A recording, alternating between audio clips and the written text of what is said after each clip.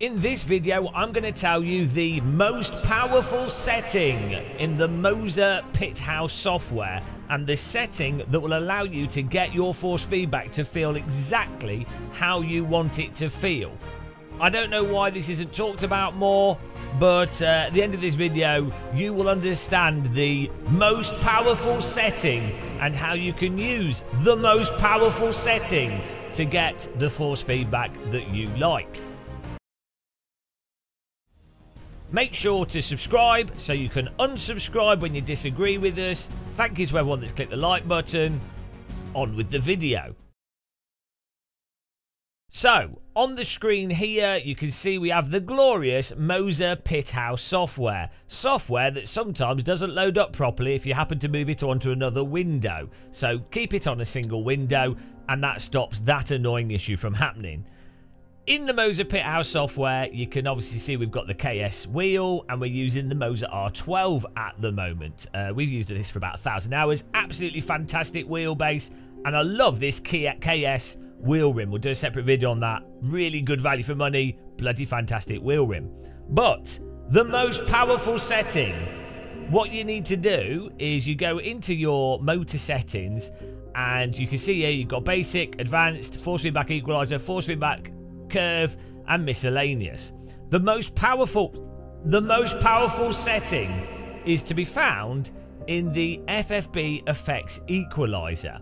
Now what this does is it acts like an EQ, an equalizer, funny that, because that's what it's called, on the force feedback that's coming out of the game and then how it goes through the wheel, how it feels on the wheel. Now, the key thing to be aware of with force feedback is that when it comes to feeling what tyres are doing and the loading uh, of grip, grip coming and going, those are all really low frequency forces that actually happen at around about 0 to 5 hertz. Unfortunately, you can't change any of that with this software. I don't know why. But that is where the crucial component of force feedback is. Uh, weirdly, people get obsessed with high frequency force feedback and a whole bunch of other stuff, where really they should be obsessed with Sims outputting really good range of force feedback in those low frequencies. That's beside the point. What you want to know, though, is how to actually make your force feedback feel really nice and how this force feedback equalizer lets you achieve that. Well, what you can basically do with this force feedback equalizer is you can remove high end, high frequency force feedback from the wheel. So, what does that actually mean in terms of feel?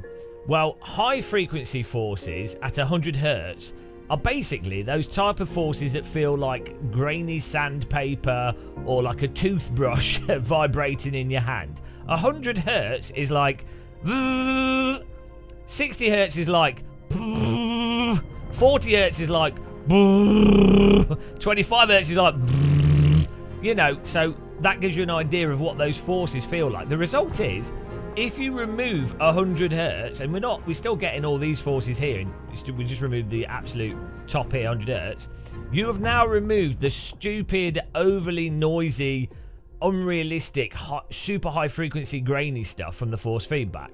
Some people might like how that feels, but uh, I've never driven any real wheel car that has those kind of forces through the wheel, and I find it feels a bit weird. Now, what you'll also find is if you reduce the 60 hertz as well, this will then, again, remove some of the higher frequency uh, vibrations and, in many cases, noise from the force feedback. So, what you can do with this is you can have no, you don't need any uh, damper, uh, any other filters, any inertia, anything else. You can just isolate or remove the annoying parts of the force feedback or force feedback that doesn't actually tell you what the vehicle's doing and you can control it to quite a high degree so that you can then make it feel like you're driving a car that has rubbery wheels and is going through a steering rack whilst still feeling all the pertinent details. Keep in mind, even if you have this sort of setting, this is this is pretty close to how I have stuff with just most simulators. Even if you have this set up like this, you're still going to be able to hit, feel all curbing and track bumps because those are all happening at like 40 hertz. But when they're coming through the wheel, they're, they're not super duper toothbrush vibrations. Um, you will find in some sims if you do cap off some of the or remove some of the high frequency you might lose some details that might give you some information as to what's going on. But you know you can have the sim open and you can move these up and down whilst you drive to feel exactly what they do. Uh, but for the most part if you set it up a bit like this 0 for 100 30 50 for 60 uh, for 60 hertz maybe even a little bit down on the 40 hertz uh, you set it up like that, and uh, Bob's your uncle, Fanny's your aunt. You'll you'll find that your games will feel super nice, and the force feedback will feel really nice and smooth, detailed, and you'll get realistic jolts and bumps. Also, what's really good with using this as well is if you play stuff like Le Mans Ultimate and rFactor 2, which has a habit of quite a, giving quite a noisy, high frequency graininess to the force feedback. Does depend what wheelbase you're using, but generally that sim can give quite a lot of superfluous noise through its force feedback, you'll find that rather than using the in-game's smoothing filter, which smooths everything coming out of the game and actually removes uh, quite a reasonable amount of detail, uh, instead of using that, turn all the in-game filtering off and just use this to filter the final force feedback signal through your wheel and you can control it really nice and precisely.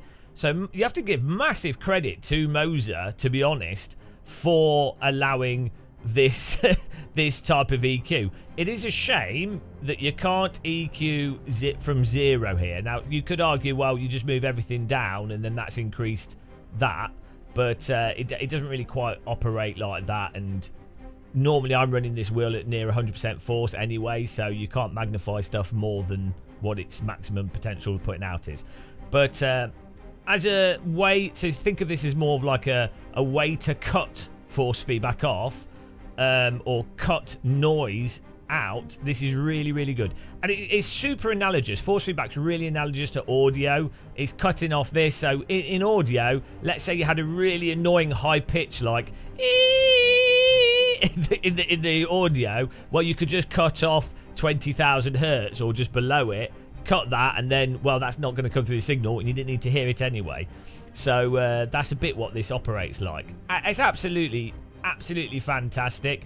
Now, you might, seeing as we're in this video, but keep it, keep in mind, this, this here, the force feedback effects equalizer, is the most powerful setting. You might want to think about some other settings as well, or think why you shouldn't use them. So you have this force base force feedback curve which you can adjust, which again will shape and adjust the force feedback coming from the game. But the problem with this is if you adjust this, you will start to get really wonky behavior from the force feedback of the game. The game will be putting out what it puts out, and then your wheel's doing all this weirdness with it. And uh, you can't like this is really getting into stupid dangerous territory and you probably mess things up so don't mess with this. But let's say you had a simulator where the the wheel felt super super vague in the in the middle like the initial turn of the wheel it felt like there was no force feedback initially and you wanted force feedback sooner what you can do is you can adjust this up a little bit and that will make the force feedback kick in sooner. But the downside of that is it's going to have to return back at some point. So I mean, you can then adjust everything. You you just end up creating a bit of a nightmare for yourself. So I would well, mess around with it whilst you're playing and see what you like. 100% do that, but that, that's the biggest tip I'd say for everything, actually. Just mess around with things and understand how stuff works. Don't just follow guides. But I'm saying if you do, if you are just following a guide, and you're not really I'll just be don't fiddle with this if you're just following guides. But do fiddle mess around with it whilst you're playing to see what it does. That's how you learn that's how I learn how to do stuff. But generally speaking I would not mess with this base force feedback curve because it will really start to screw up with the linearity and what's coming out of the simulator. So uh, yeah probably best to leave it. But this force feedback equalizer moving this down and this down here it's kind of like if you if you had like a Fanatec wheel and you put uh, like the NDP bit of filter on, uh, the FEI setting on, or if you've got other wheelbases and you put a bit of filter on to remove those high frequency things, it's a bit like that, but with really nice control over it. Um, and I, as I say, pretty much all sims I will put this down here. If I feel like it's too grainy and noisy, I'll just put this down and it'll be super, super smooth. Feel really nice, loads of detail. And I, I really love this about the Moza wheel. and the Moza software. I know there's uh, there'll be other software that does similar things to this as well, but uh, this this hopefully is useful for those of you with the Moza wheel. Uh, miscellaneous settings though, um, just to go through the settings quickly, we have actually done a setup guide on this. Um, a thing to uh, also set is on the with an R12, maybe not if you're using an R5 or some of the weaker wheels, the temperature control strategy, uh, set that to radical because uh, the, uh, the the temperatures at 60 degrees is fine for a servo motor, so you might as well put it on radical and not conservative. And then um, other stuff bit worth being aware of: if you're driving vintage cars with quite a heavy wheel rim, like one of the circular wheel rims, you might um, you might want to add a bit of damper to them if the wheel's really overactive with certain simulators. So if the wheel's like sort of thrown itself out in a crazy way and is let's say overactive, then uh, then you might want to add a little bit of uh, a little bit of uh, damper. So you just increase wheel damper, and then you can also then adjust uh, some like speed dependent damping or natural inertia if things are overactive. But to be honest, with a lot of the Sims now, I, I literally, for me, I, I tend to leave things not particularly dampened. I'd rather run a bit lower force feedback, strength, in the game, and uh, then just remove these high frequency things. And I like to feel everything that's coming through the game. It's only really when you start getting to 12 newton meters or, or higher newton meter wheelbases that the damping make um, is a much bigger thing to consider or to put on because the higher newton meter wheels can get very crazy and the damper the damping's not going to um, affect the detail so much because they've got so much overhead in the range that they can put out uh, so if you're on a really low end or really low end still they're still quite good wheels but if you're on a 5 newton meter or less wheelbase, you, you really probably don't want any damper at all. And as I say, even with this wheelbase, I don't don't really use it. But there you go. The most powerful setting in the Moza software, the force feedback equalizer. Remove this top end or reduce it, fiddle around with it. And uh, trust me, this will make your Sims feel a lot more rubbery, a lot nicer, a lot less uh, toyish. You'll have a good time. So uh, hopefully this video was useful for you guys. I'm sure people that don't have Moza wheels are not going to be interested in this. but the same logic and reasoning applies to everything, so there should be. But uh, until the next one, guys, thanks for watching. Take care, happy tea drinking, and goodbye.